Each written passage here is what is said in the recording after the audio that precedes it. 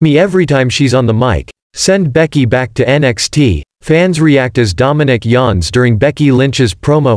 Fans are having a field day on X, Twitter over Dominik Mysterio yawning during Becky Lynch's promo on the latest edition of WWE Raw.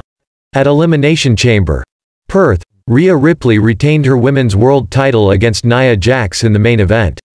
On the same night, Becky Lynch defeated five other women inside the Elimination Chamber to win a shot at Ripley's title at WrestleMania 40. On Raw, Lynch and Ripley came face to face and engaged in a war of words. At one point during Lynch's promo, Dominik Mysterio could be seen yawning.